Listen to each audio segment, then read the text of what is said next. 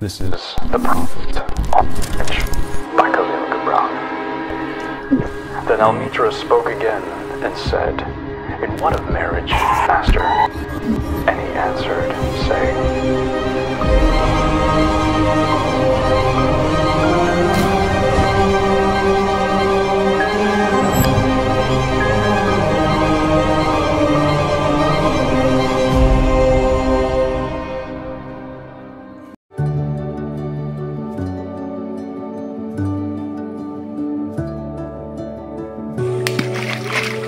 right here on this ground where we are standing, holding dreams with open hands against the sky.